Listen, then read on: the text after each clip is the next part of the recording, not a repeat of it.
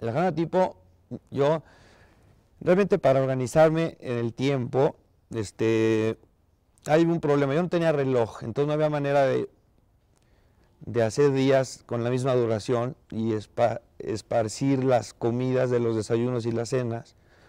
Porque puede hacer que ellos me decían, usted tiene derecho a tres comidas. Entonces yo decía, quiero comer. Y me decía, me decía por escrito, ¿qué quiere usted? ¿Desayunar, comer o cenar? Entonces yo no sabía y dije, pues desayunar y y al rato pedía la comida a la hora porque me daba, estaba nervioso y luego me tardaba tres horas en la siguiente comida. Entonces ya no sabía yo qué tanto estaba yo eh, permitiendo que mi reloj biológico me autorregulara. Finalmente me, di, cuenta que había un evento que, que repetía en forma constante, que era un cassette de música que ellos ponían para ensordecer el ambiente. Ponían un cassette de una estación que se llama La Tropicú, que es música como guapachosa, como tropical, y la ponían fuerte. Y era un cassette que repetía una fracción del radio con todo y anuncios, pero una trazota, trazota, trazota, trazota. Y ese cassette estuvo cuatro meses puesto las 24 horas al día. Ese cassette que al principio fue una mortificación, porque oírlo era como rechazarlo. Cuando empecé con el tema de acepta lo que no, lo que esté, Dije, ¿cómo le puedo hacer algo positivo de ese cassette que, que yo no lo soporto? Bueno, pues es tu reloj de tiempo. ¿Cuánto quieres que tenga cada vuelta del cassette? Entonces yo dije, bueno, pues vamos a suponerle media hora. Entonces dije, ok, yo tengo que vivir, vivir días de 24 horas, de los cuales tengo que estar 8 horas dormido, de los cuales no voy a contar cassettes, hay los que la naturaleza pida dormir, y luego que tengo que estar 16 horas despierto. Quiere decir que si son 16 horas, son 32 cassettes de actividad permanente sin descanso para poder conquistar las 8 de descanso. Entonces dibujé 32 eh, rueditas en la pared y con la tapa de la, de la pluma, de la pluma Vic, cuando en la mañana me levantaba, que decía, ya estás descansado, arranca. Tocaba para que me prendieran la luz, prendían la luz, empezaba mi día a la hora que fuera, y ponía la, tapita de la pluma en la primera bolita. Me levantaba, ofrecimiento de obras, ah, ofrecía mi día, eh, hacía del, uh, un aseo del cuarto rápido, este, y después ya viene el desayuno. El desayuno, pues ya yo desayunaba en media hora, que también es mucho, pero pues ya sabes, todo con calma, y hacía tiempo de donde no había, pero bien hecho. Y luego después hacía media hora de oración, que era medio cassette de oración. Después de mi oración era la, meditación de la misa, era mi misa seca de todos los días. Entonces yo, ese día era maravilloso porque esa hora me encantaba. Yo decía, en cualquier, en algún lugar del mundo, en este momento, no sé si sean ahorita a las 8 de la mañana, no sé a las 2 de la tarde, no sé, pero en un lugar del mundo ahorita está empezando una misa. Entonces a esa misa yo me uno. Entonces yo como no sabía ni la lectura de ese día ni nada, pues yo me las inventaba. Y más o menos ahí, la Biblia, pues no, era un misal, era una Biblia. Entonces yo, pues con una secuencia, pues decía, a ver, ya va entrando el sacerdote. Entonces imaginaba una, una capilla virtual, imaginaba, me unía en, en alma y cuerpo a ese sacerdote que estaba en ese momento oficiando dije, ahí ven entrando, este, esperaba que entrara el sacerdote en mi cabeza, entraba al altar, del Padre, del Espíritu Santo, amén, pedía perdón primero por mis pecados, después agarraba cualquier lectura de la Biblia, la leía, luego la otra lectura la leía, luego después leía, agarraba un evangelio, lo leía, luego empezaba, no me acordaba muy bien del ritual de la misa, pero pues viene el ofertorio, te ofrezco, Señor, tal, tal, tal, tal.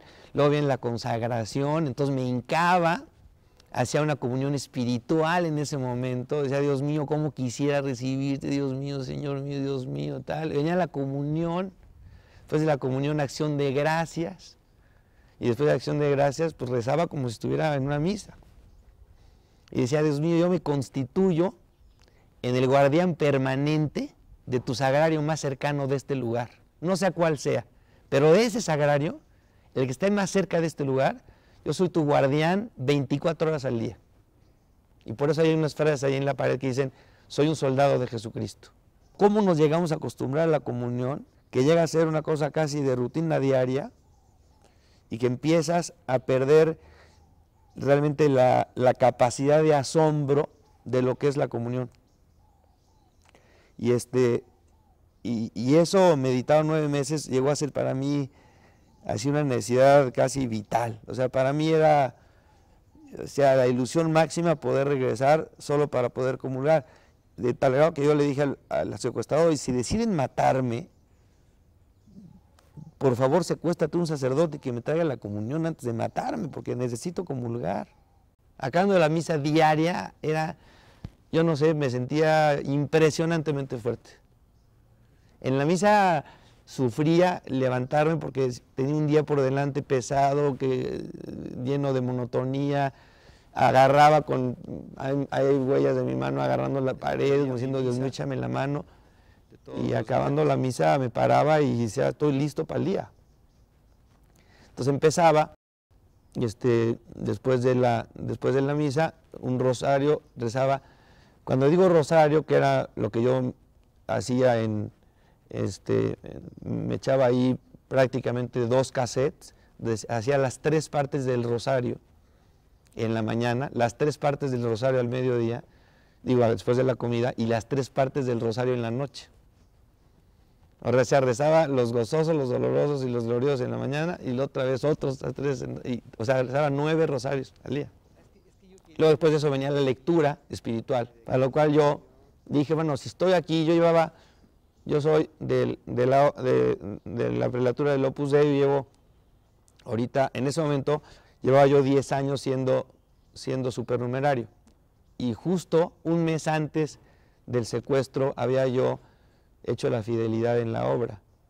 Este, estaba yo como muy calientito en eso y, yo decía, bueno, pues si yo tengo derecho a tomarme un libro al día, este, voy a leer sobre la espiritualidad propia que yo quiero vivir, que es de la obra. Entonces le dije a los secuestradores que no me contaran la Biblia como libro, porque ese era un libro de consulta, que me dieran un libro adicional que me lo cambiaran periódicamente.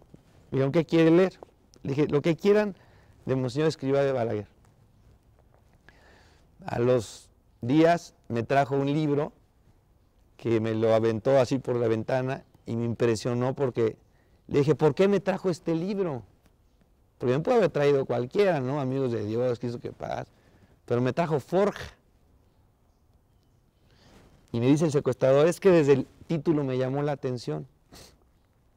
Y cuando lo vi me puse yo a llorar porque en la primera hoja de forja dice, ¿cómo no te voy a querer, hijo mío? Si te meto, bueno, palabras más, palabras menos, si te meto como una, como un, en este crisol, ¿verdad? Y a golpe de martillo saco una joya fina. Lo primero que pedí fue una Biblia católica y me consiguieron, consiguieron una.